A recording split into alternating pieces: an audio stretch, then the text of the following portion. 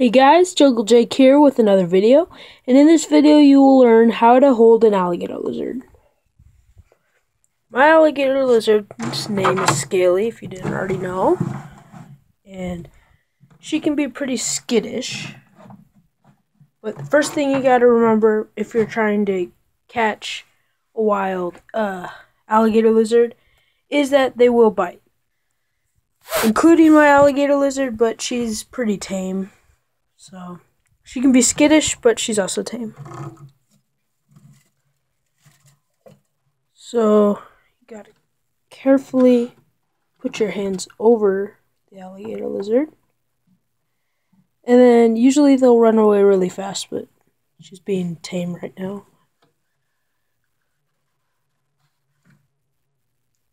See, they're pretty fast. They'll open their mouths and hiss at you and stuff.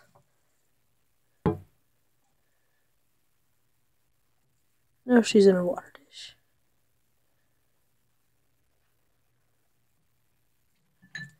Okay. I'm gonna let her dry off a little. So yeah, you have to like keep your hands away from the mouth, or else they'll like open their mouth and strike and bite your finger off. Not off, but like bite your finger. But if you're catching one for a pet, they make really good pets and are very tame if you hold them a lot. Like you can see, she's pretty tame.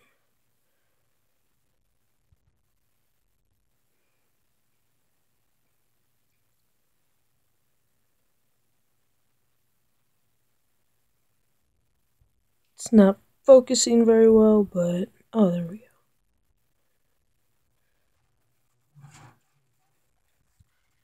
Yeah, so that's how you pick them up.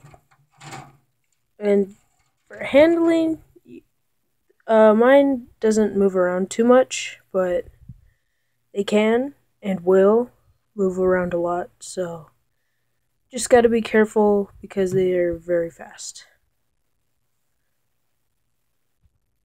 But when they're tamed down like Scaly, they're not like super skittish when you hold them.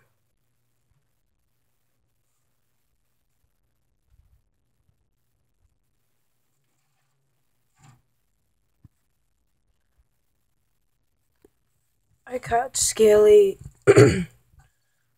almost six years ago in my backyard when she was a baby.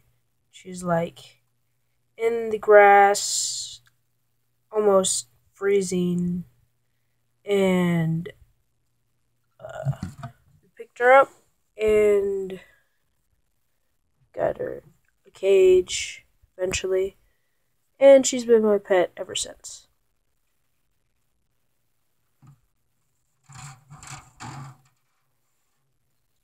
I think they make very good beginners because I was really young when I got her and she lasted a couple weeks without eating very much at all because I didn't know what to feed alligator lizards. So they make very good beginner pets. But the arboreal alligator lizards, they're like kind of harder and they're way more expensive. Yep, so that's Scaly. And uh, here's her cage. If you're thinking about getting an alligator lizard, you can get it set up kind of like this.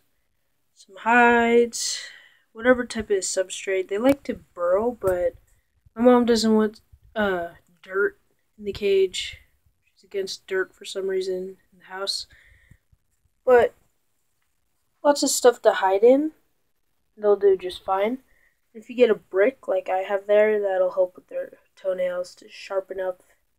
Like maybe you saw, but her nails are like bent and toes are sideways. It looks kind of really weird.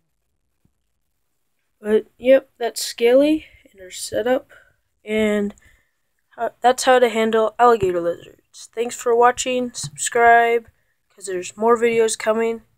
And thumbs up if you like it. And Jungle Jake out.